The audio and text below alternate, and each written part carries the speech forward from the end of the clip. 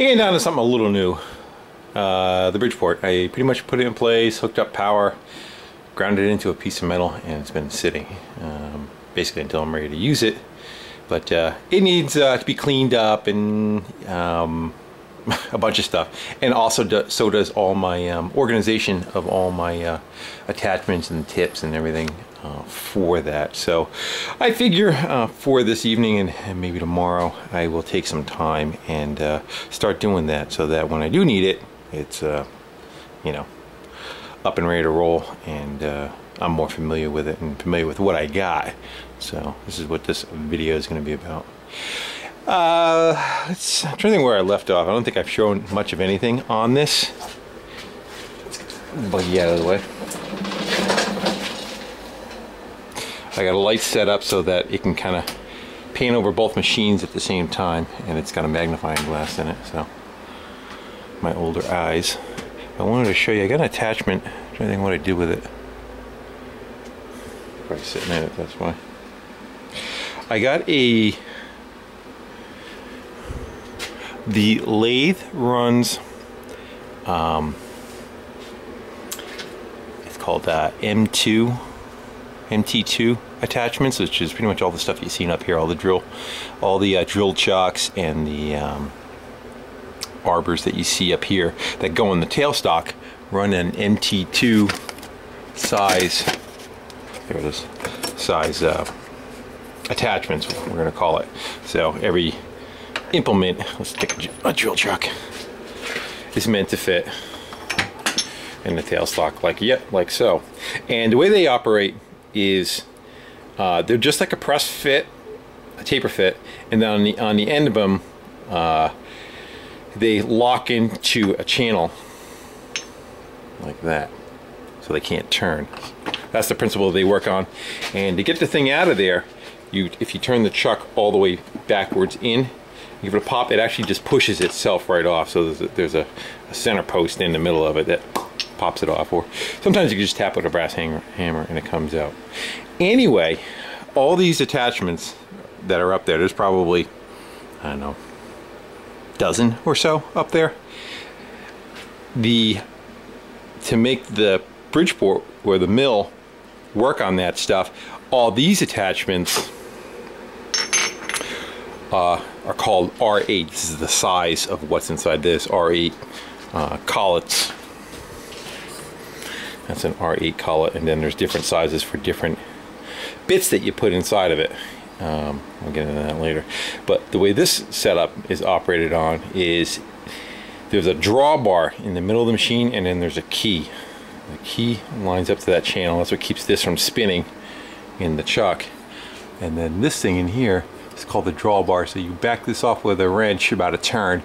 You whack it with a, uh, a brass hammer or uh, some kind of soft mallet and it just that taper just pops right out of the socket then you unthread it and it falls out.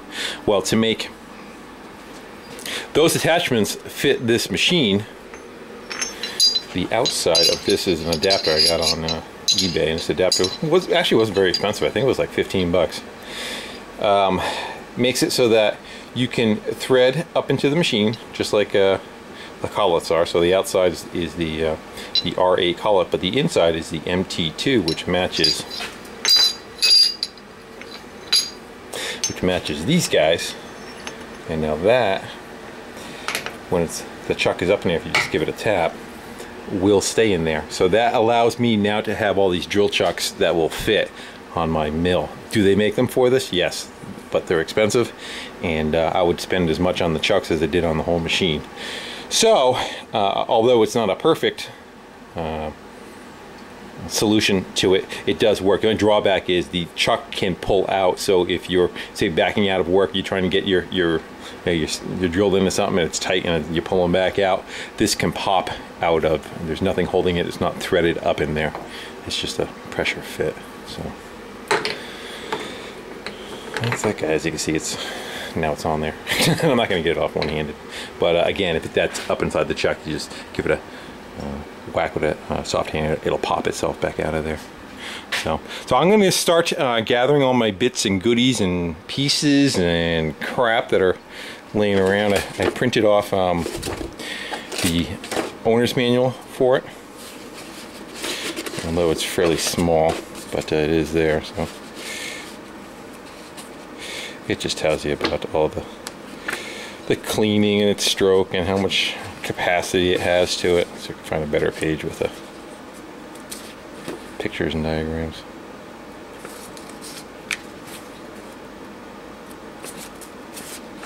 But you're just going to have to take my word for it, aren't you?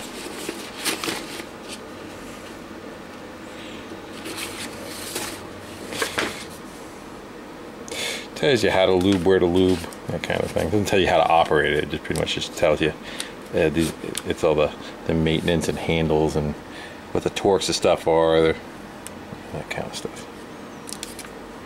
All right, you're gonna have to take my word for it. Anyway, so this is some of the parts, uh, the the bits that I had received from uh, that big pile that I got from um, the machine shop that had uh, all the vices and the, the rotary table and all that, and then it came with all the wrenches and whatnot. So anyway, also within that pile came a, a, a bunch of uh, end mills and cutters and you know just a, a little bit of all the leftover stuff that a shop has that they uh, they move out.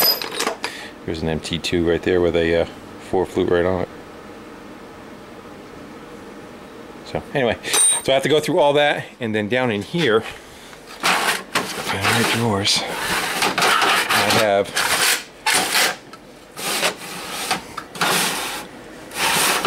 a little bit of everything, but but as you'll see, there'll be uh, those, again more to fit the. Um, that's more for the lathe.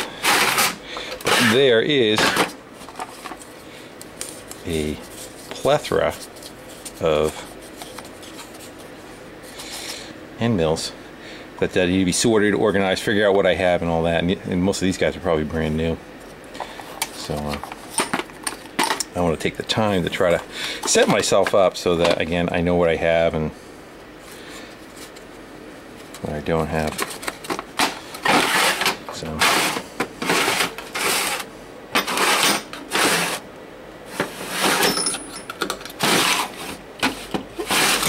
reamers, cutters. Are fly cutters. I don't know if I, if I have a setup for this, but this is uh, its own game in itself. I had enough of that. You get the idea. So I want to take all that stuff, organize what I got, and uh, clean up. Actually, over in my drill section, there is more. Let's see. Nope. Yeah. Nope. Yeah. I have more over here. Again, that's uh, just a miscellaneous pile of different bits and whatnot. And so. We're gonna go from there again. Keep repeating myself and uh, clean it all up. So I'm gonna shut you off and I'll turn you back on. We start getting something going. All right so this is the aftermath. We got piles. Uh, not quite sure which way to uh, organize the stuff where whether I want to do it by you know what they cut how many flutes so for now I'm just going to group it to what the uh, again, like I said, the, the collet size is and kind of go from there. But I figure what I can do is leave them, I want to put up in boxes and make them so that that side is up on all of them. So they're standing straight up in a, in a container. And you can just look right down them and you can kind of see what they all are at the same time. At least that's what I'm thinking now. And generally they kind of, you know, they're grouped by size anyway as they go up. I'm missing uh, two collets. No, one collet. Uh, it's a really tiny one. I think I want to say it's an eighth. And I think there's one in between here. No, here. 15 sixteenths, where there is not one. And then it was two quarter inches. So, so I think uh, I want to take and try to find some boxes that fit roughly that size. I do a little Home Depot shopping or whatever. And uh, try to look for something that's more square on the side so the stuff kind of uh, stands more up and down. Something like this, probably about half the size would be good. And the more straight up and down it is, the better it would be. So I'm gonna look for like a eight pack or something. And this stuff is all the different um, like adapters and whatnot. I'm trying to find a combination that will run this drawer of um, cutters. And uh, again I, I, really don't know much of the history where the stuff originated from. So um, like here's a cutter with a, a, thread on that kind of matches up to them but it doesn't match up to anything I have. I don't know what this uh, this uh, collet would be it's drawn in by thread but there's no key on it. So it's for some other uh, you know Morse taper 8 whatever this is. And uh, does have a 5 on it right there? Anyway so um, I want to try to find a combination that is good. So I wish there was something that would fit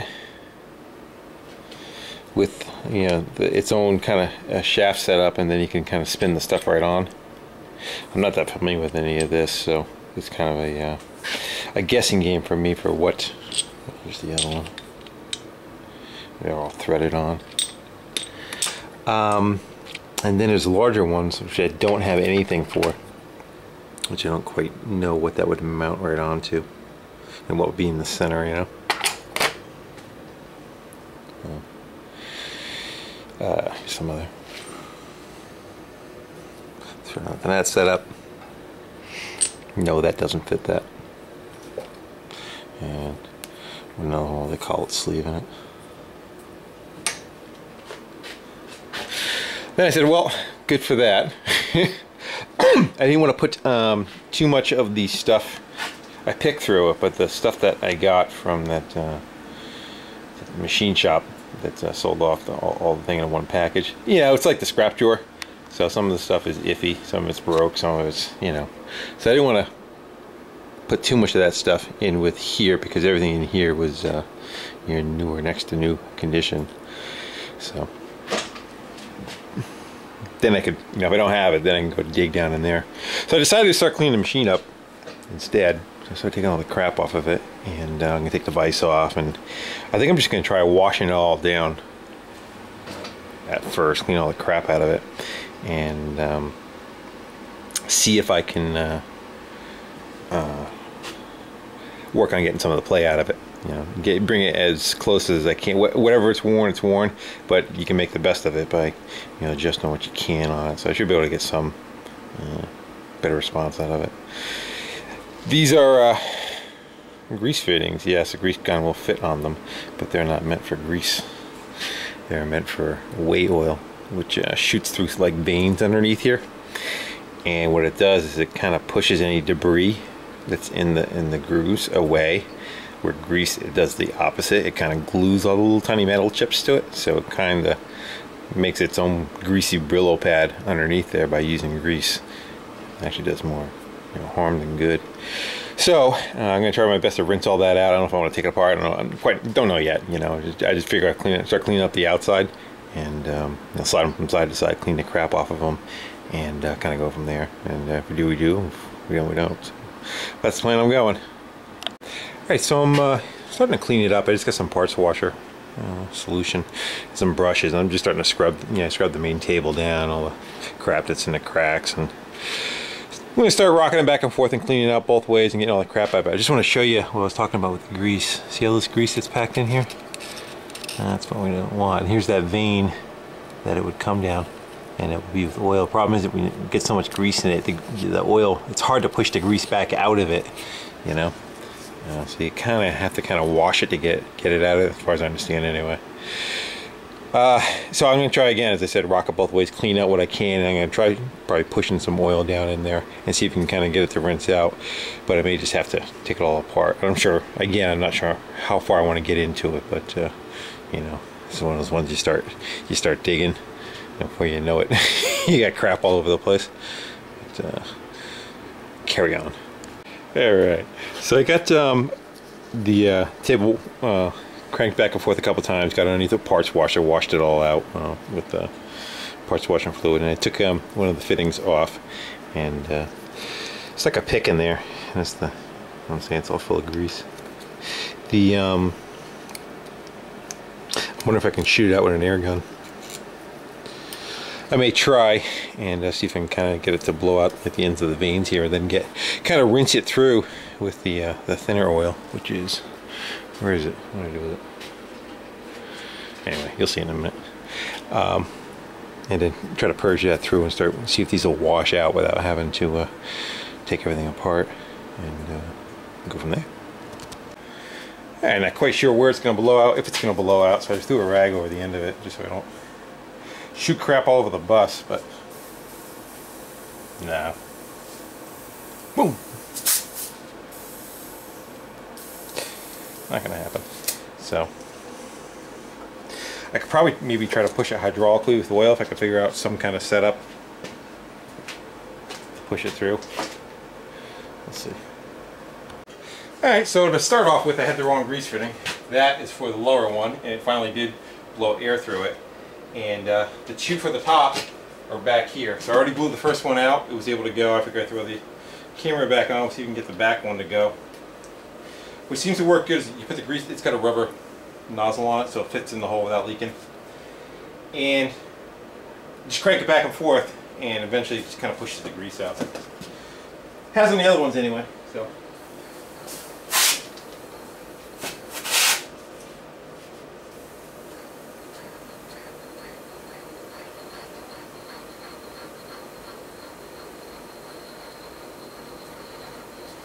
Maybe, maybe not.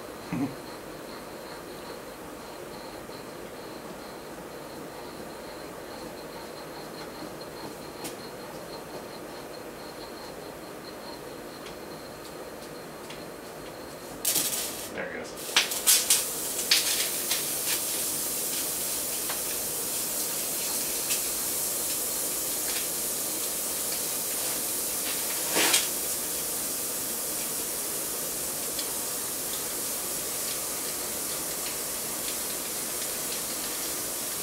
So I figure now if I can get air to go through it.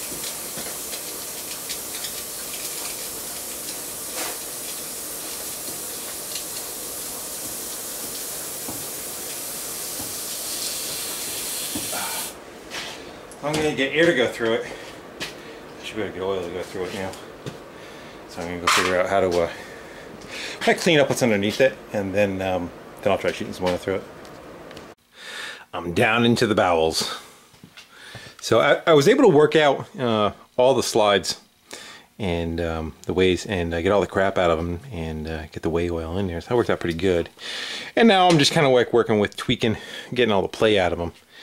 And uh, here I'm running this one back and forth. I took the screw out of the front and there's the cover plates that shift back and forth. So now you can see the bottom screw. And then uh, to bring your knee up and down is, is the other the other one below it, but this is the main one right here. What I wanted to show you was uh, you see a production machine. Uh, see what would show up better. See the see the line there, the hammer mark, and the hammer mark there. There's a bunch of other ones, but those are like they're like two real prominent ones. So this thing probably did whatever it did, the same thing over and over and over and over and over and over and over, and over again for its uh, you know 30 years of its life. But it's a 59. So what's that? Uh, 17 year, uh, 57 years old. So it's it's allowed, but um, it's getting cleaned up pretty good. I think I'm just gonna take some air and blow all, any chips that are down in there, kind of like wash out that area, and um, use some carb cleaner, kind of rinse it all out, and then re-oil everything down in there too. And that uh, gets a different. The uh, kit that came with it came with a bunch of different stuff. You know, way oil is for insta ways, and then I gotta do my homework again because we got spindle oil, which, and then we got the medium oil, and then we got the yeah white lithium kind of grease. And uh, gotta remember which one's for which. I'm not quite sure which. That, that I would think would probably be for the screws, but I want to do my homework on it before I put uh, that stuff on there. I gotta look it all up. Um, but I'm still in kind of like the washing state, and uh, again getting to play out. So I ran that one in quite a bit, and that's um, there is play on the screw before it responds and then it's playing the table like if it wants to twist or not and that that's what I'm trying to get out of it and basically you try to make it so it's it's going to be loosest in the center no matter what but the two extremities you just want to make it so you set them up so you're able to get to them. Uh, it could have some drag on them but uh, the more drag you set on the outside the tighter it is in the center. Uh, so yeah, you're just trying to find a happy medium there. And I did. And uh, you still lock it. You can lock it anyway you know you, you turn the lock on and that takes the uh, it tightens it tightens it up where it is. So, so what am I doing now? Uh, I'm gonna go back to cleaning, I guess. The other adjustment I have to take is probably well. Here's the first one. I'll show you. It's got a screw right there. So you're twerking that guy in and uh, tweaking, twerking, and uh, basically, essentially, you got a wedge that uh, uh either greatens or loosens the distance between these two. And, uh, yeah, essentially takes the play out and they're just two uh, tapered, two tapered six for the most part of it, uh, rubbing up against each other. And uh, the taper just takes the play out. I don't know. That's a way to explain it. All right, I'm to go uh, clean. Alright, so I think I left off with, uh, I was just uh, tightening up the dovetails on the X and Y axis to try to tighten those tables up.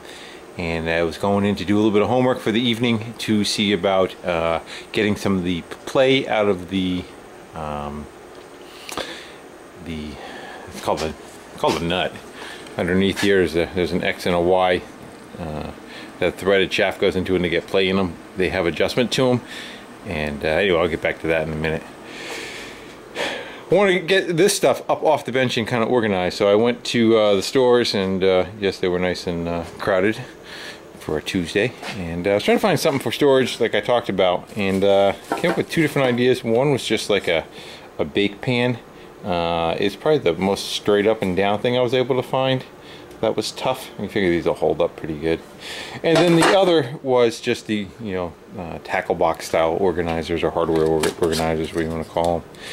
So uh, I think uh, I'd rather have more than not enough and have to go back. I'd rather go back to return than not uh, have enough to get the project done. So I think I'm going to start with uh, trying to load up all the small stuff in one of these and see how it works out and then maybe we can step it up from there to the uh, larger ones and maybe the tins or I just don't know yet. So I think that's where I am. I'm going to go and start organizing my hardware. Well that took a lot less room than I expected. The whole thing fit in uh, one tray for the most part. So, which is good in, in a sort that it won't take that much uh, room on the shelf, but at the same time, I can still kind of see the tops of everything for what I want to do with them, you know. And then I, I just decided to kind of write around on the outside what sizes they were. And, uh, you know, a year from now they'll probably all be mixed up. At least I, I gave it a valiant effort to start with. Uh, and I also looked online last night and uh, uh they make arbors for this that will fit an R8 uh, uh, collet chocolate not, it, actually, yeah, I guess it is. No, it's not a collet. What would it be called? Just an arbor that will um, accept the different different type of cutting bits that I got, and I think the rest of them are underneath the plastic over there. So, me order one or two of those. I'm going to look on eBay and see how much they cost, and um, try to get one of each. One, one for they look they're all the same size thread, and then uh, the ones that don't have threads just have an open hole in the center of them. Basically, what you see there. So I'd like to get uh, one of each of those for uh, uh make make it so the, the the tooling's useful. You know. So I'm gonna go start uh, packing that sucker up on the shelf up there and uh, go maybe probably uh, back to cleaning up uh, and adjusting more on the Bridgeport itself. So I'm gonna go get on that. So I decided to jump in to get rid of um, the worst play that is in the whole thing was um, the table uh, can get pushed in and out uh, about a hundred thousandths. It was a lot. So I, what they have is a brass. They call it a nut. Um, there's no. It, there's threads on the inside of it. I don't know if you guys can see. See that? Brass right there. Well, that's threaded. Um, and then it has a almost like a T. There's another thread going across the top of it um, that does you know one's X, one's Y. Well, anyway, they have adjustment in them, and the light is just not quite illuminating. There it does. See that big screw? And then there's a little piece of brass next to it. A little other shiny piece of metal. That little missing piece of that, that little piece of metal was another screw that was supposed to lock that screw down. And that big screw that you see there was the adjustment for the play. Well, the head is just missing on that other screw. I'm not going to go worry about trying to get in it. But anyway, I tightened that sucker down and uh, that was all the play. All of it was right in there. So now from forward and back, there's nothing.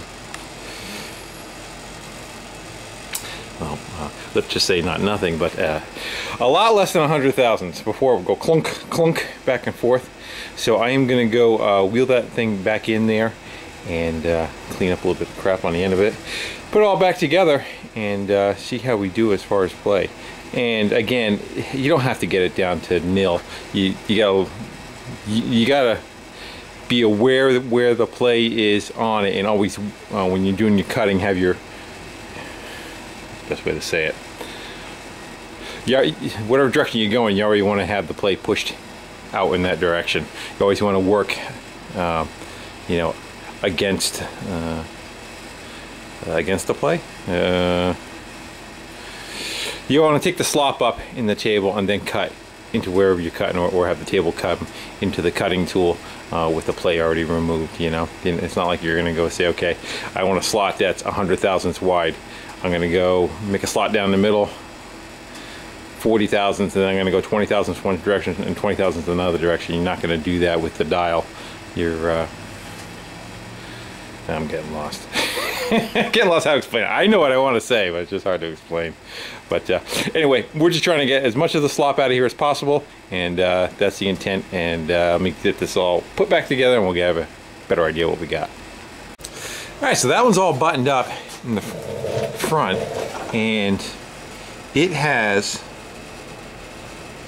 now about uh, about 12 degrees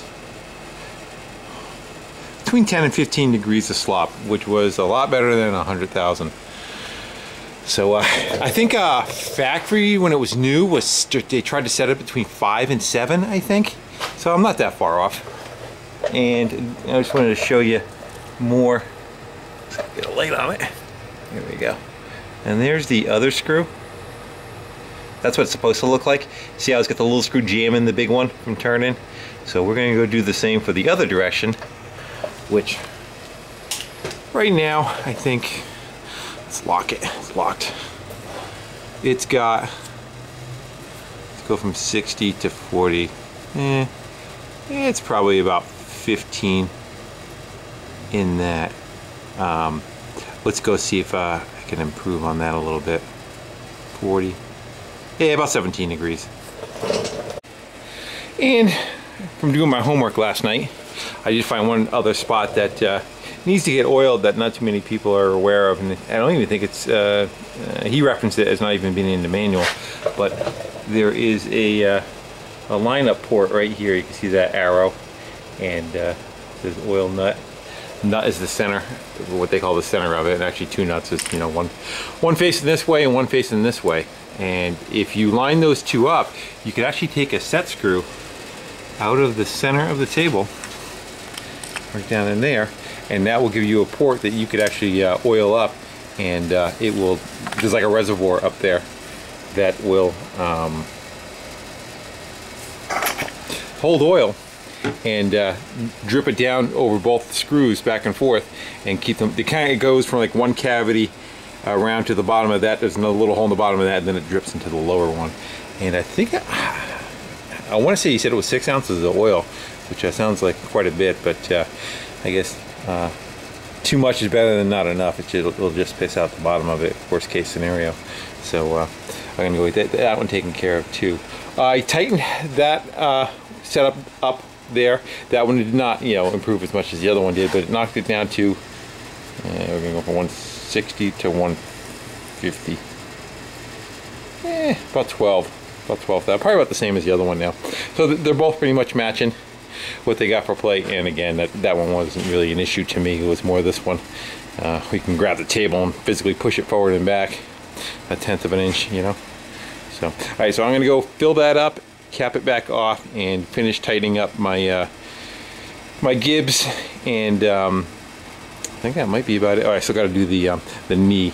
There's uh, you remove these little caps underneath here, and you can adjust the knee uh, gib also to kind of take some slop out of it. But uh, that one, for the most part, you just crank it to wherever you're going to be, and you just lock it down, and then he, you know, tightens itself up. There's no, it's not like you're trying to work that while you're trying to cut something. And then I just quickly hit all the oil caps up top and uh, filled them in oil, and then all the pivots and etc. etc. etc.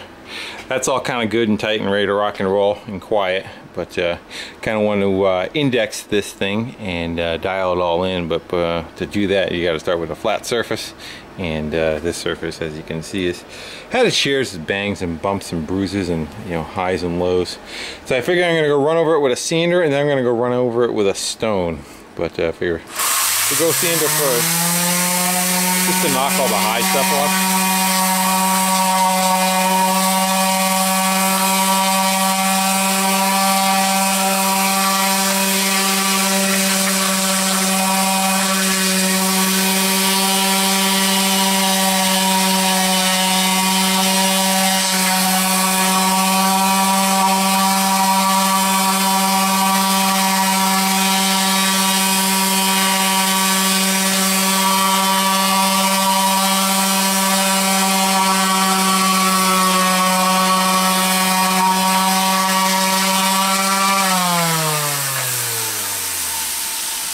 some guys go crazy and they start filling all the, the past boo-boos in. I'm not going to get into any of that, but uh, you know, we're just, gonna, we're just trying to get it back in service. Uh, so the last thing I wanted to do was uh, kind of square up that head a little bit, and uh, you can tilt the head this way and this way. So you have um, uh, for this parameter, you have four nuts. You just kind of crack them loose, and then you have a like a worm gear on this one and you can you could fine tune it and then the the knot of the head if you loosen these three and then you work with this one the same thing the worm gear you can kind of you know fine tune it. And I just stuck a gauge in it. Not the best gauge in the world but it's what I have to work with. It's one of those ones that are on a magnetic, stand. Well I took it off the magnetic stand and stuck it in a chuck. It'd be better if I had something that was a diameter of a um, a, collet instead of trying to use a chuck you know you'd be more accurate but uh, from side to side you know it's on zero there you spin it around. Okay. Probably have to take my word for it. What are we on? We're on zero there. And then pretty much again from front to rear. And you get uh, we're showing about three there